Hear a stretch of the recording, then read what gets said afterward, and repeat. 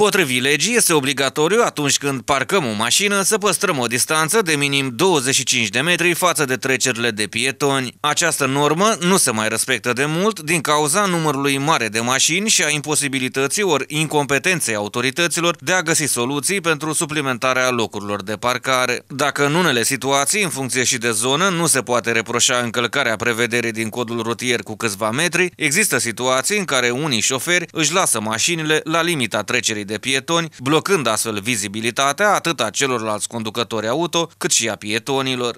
Ca să poată traversa, pietonii trebuie să parcurgă cel puțin jumătate din trecerea de pietoni ca să se asigure că nu dă nicio mașină peste ei și asta din cauza faptului că vizibilitatea este mascată practic de mașinile parcate foarte aproape de trecerea de pietoni. Acest lucru îi deranjează foarte mult pe pietonii care sunt nevoiți să circule cu atenție sporită pentru a nu fi loviți de mașini. Bineînțeles că nu au voie să parcheze lângă trecerea de pietoni.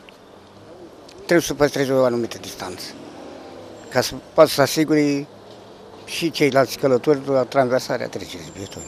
Pietonii, ca să se asigure, trebuie să vină practic la jumătatea trecerii de pietoni. Da, creează probleme la șoferi, pentru că pe moment nu poate să-i observi din cauza mașinilor. Da, și atunci poate să-și pierdă permisul de conducere. Da, nu e bine, dar asta e situația, așa înțelege lumea. Vedeți, acum dacă nu era dumneavoastră, nu oprea acolo la, sigur, sigur nu oprea, dar am văzut cu aparatul și altfel da. nu oprea. Până unde trebuie să mergeți ca să puteți să vă asigurați petrecerea de pietoni aici? Până pe partea de zebră, când e alb, atât. Ca să pot să fiu sigur că nu, nu mă atinge. Da, depinde.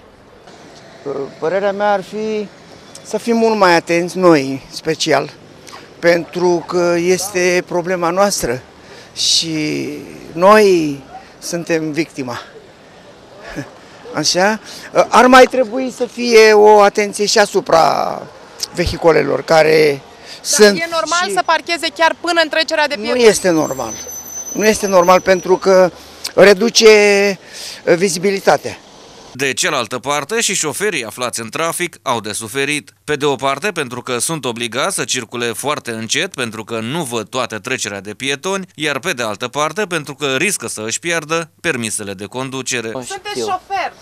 Sunt șofer, ne lovim, dar ce să facem? Dacă strada mică, mașini multe, Mașinile parcate foarte aproape de trecerile de pietoni uh, maschează vizibilitatea. Nu puteți vedea practic dacă este sau nu este pieton. Păi dacă nu e loc de parcare, unde să se ducă om?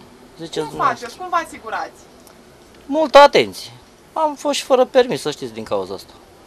Când am avut vizibilitate, am fost poliție în urmă. Nu avem ce să facem, ăsta e orașul, cu asta mergem. Și aici acum la, cu parcările de, și la aici la gar, cum este nu se vede, îți iese de la, dintre mașini în trecerea de pietoni. Și asta ar trebui reglementat într-un fel că se foarte, poate foarte, fără permis foarte ușor. Se rămâne la orice oră, la orice minut se poate rămâne fără trecerea de pietoni. Și ar mai trebui Ca să nu mai regle, de un accident. reglementat aici cu gara asta aici, dacă ar sta un, un echipaj aici, că, că jumătate din ce se circulă ar rămâne fără permis. În municipiul Buzău, frecvent au loc accidente pe trecerile de pietoni produse și pe fondul obturării vizibilității. Avem exemplul unei fetițe care a fost lovită în plin și rănită de un șofer neatent, dar și în contextul în care, la un pas de zebră, se afla un autoturism ce masca un sfert din trecerea de pietoni.